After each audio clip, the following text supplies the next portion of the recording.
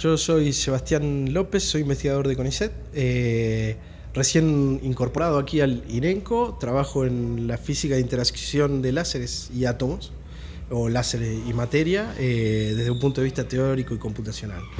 Eh, me estoy recién incorporando en un proyecto de federalización de científicos, vengo de Buenos Aires.